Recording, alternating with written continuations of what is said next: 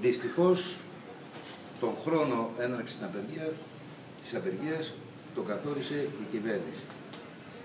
Η απεργία είναι διέξοδο. Δεν φταίμε εμείς γι' αυτό. Οι μαθητές μας γραφτήκανε σε σχολεία τα οποία ακόμη το αντικείμενό τους, το αναλυτικό τους πρόγραμμα δεν είχε ψηφιστεί. Στις 2 του μήνα που αρχίσαν οι εγγραφές, το νομοσχέδιο για τη δευτεροβάθμια εκπαίδευση δεν είχε ακόμη ψηφιστεί. Πολλοί συνάδελφοί μας βρεθήκαν στον δρόμο. Είχαμε άδειες καρέκλες στα γραφεία τους. Τόσο στην γενική εκπαίδευση, στα γενικά λύκεια, όσο και στα τεχνικά λύκεια, μεθοδεύεται η αποδόμησή τους. Χρειάζεται η Ελλάδα για μερικούς φτηνό εργατικό δυναμικό. Οι καθηγητές που σμιλεύουμε τις ψυχές των παιδιών, τα μεγαλώνουμε σαν πνευματικοί τους γονείς, αυτό πρέπει να το σταματήσουμε. Ξέρουμε ότι είναι ένας πάρα πάρα πολύ δύσκολος καιρός για όλους μας.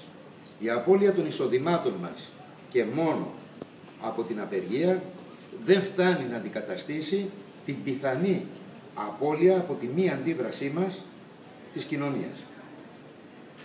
Το μέλλον για τα παιδιά μας είναι σκοτεινό.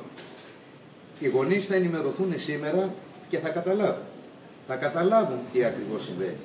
Ότι δεν συμβαίνει αυτό το οποίο διακηρύττει ο κύριος Πρετεντέρης, ο κύριος Λυριτζής και ο κύριος Οικονόμου.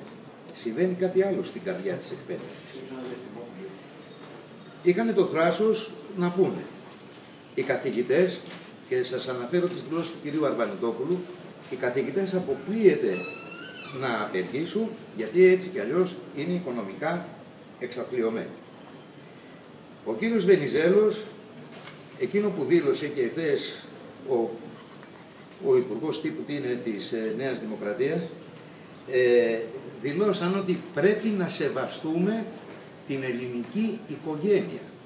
Ποιοι το λένε αυτό; Αυτοί που την αποδόμησαν, αυτοί που τη διέλυσαν, αυτοί που την οδήγησαν στους κουτοδεντενεκέδες να ψάχνει, αυτοί που την οδήγησαν στις ουρές των νοσοκομείων; Ποιος πρέπει να σεβαστεί την ελληνική οικογένεια; Ακριβώς επειδή σεβόμαστε τόσο την ελληνική οικογένεια, όσο και τη θέση μας σαν εκπαιδευτική λειτουργή προχωράμε σε αυτήν την απεργία.